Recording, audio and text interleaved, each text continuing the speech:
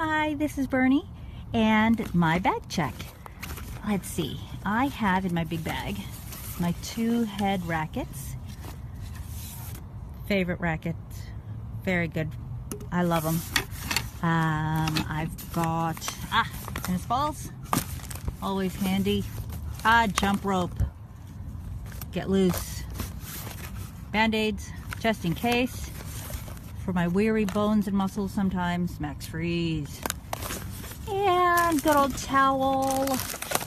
Nothing else, a little bit of cash, just in case. But yeah, that is it. That is it for my bag. Nice and full.